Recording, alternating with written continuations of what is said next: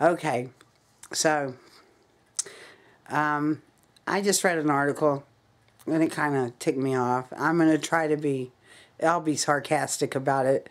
I'm going to try to be as nice as I can, but uh, hmm, it's going to be hard for me to refrain from being that nice, so I'll probably add some words to it and you can read the article yourself. Um, this is Linda here, and um, you know we've got the all these candles going on and and they're distracting us here there and and sucking our life force out of us. And every penny we make is going to the district of criminals. And none of us like them none of us i don't know anybody that likes anybody there. I mean, all of us want to to live by natural law. I, I even see the liberals saying enough's enough. And look what this guy's going to do. This this CEO of the Corporation of America and his family. This just kind of pissed me off. So I'm going to try to. I'm trying to laugh, but it's not funny. Um, I'm going to try to read this, and I'll be adding some words. So here you go. All right. Now, oh, the Obama family trip to Africa to cost 60 to 100 million dollars. Well, that should probably do it for all of us right now. If you're not pulling your hair out, you should be. Um, President Obama and his family will be going to Africa later this month, but the trip won't be cheap. It's expected to cost the American taxpayers 60 to 100 million dollars, according to the Washington Post, who fudges the numbers for him anyway. So I'm sure it's going to cost a lot more. When President Obama makes his first extended trip to sub Saharan Africa later this month, the federal agencies charged with keeping him safe won't be taking any chances at all. Hundreds of U.S. Secret Service agents and their prostitutes will be dispatched to secure the facilities in Senegal, South Africa, and Tanzania. A Navy aircraft carrier or amphibious ship with fully staffed medical trauma center, 40,000 times better than Obamacare, will be stationed offshore in case of emergency, reports the Post. Military cargo planes will airlift in 56 support vehicles, including 14 limousines and three trucks loaded with sheets of bulletproof glass to cover the windows of the hotels where the first family will stay. Fighter jets will fly in shifts, giving 24-hour coverage over a over the president's airspace, so they can intervene quickly if an errant plane gets too close. Right there, if he is that wanted in Africa and has to have that much coverage, it's going to cost over $100 million.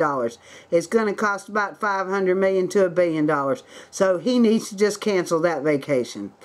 The extraordinary security provisions will cost the government tens of millions, and I'm going to say over that, are outlined in a confidential, not very confidential if we're getting it on the news, uh, propaganda here, in internal planning document obtained by the Washington Post. While the glimpse into the colossal efforts to protect the U.S. Commander-in-Chief on this trips abroad, which, since America's in dire straits, he shouldn't be going on any trips. He should be taking care of affairs here.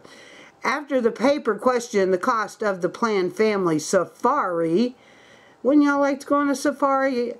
The White House nixed that plan. The President and the First Lady also had planned to take a Tanzanian safari. Now, I'm sure they're going to take these safaris, I'm going to tell you. As part of the trip, which would have required the President's special counter-assault team to carry sniper sniper rifles with high caliber rounds. Get that, get that.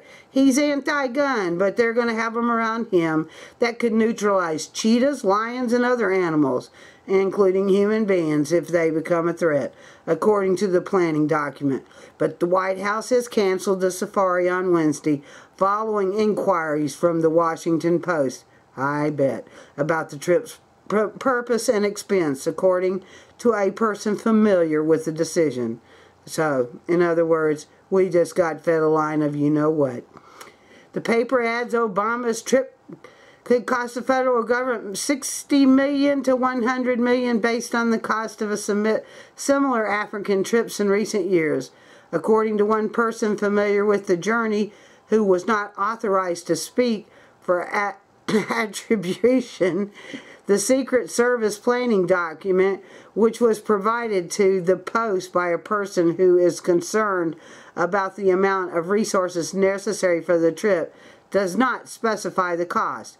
So in other words, they're just pointing out here it could cost 60 to 100 million because they're really not telling us how much. And if they have to have a, a hospital offshore and a no-fly zone and all these how many people did it say he's going to be watching after him? 14 limousines, 56 support vehicles, and trucks loaded with sheets of bulletproof glass to cover the windows of the hotels where him and his kids are going to be staying.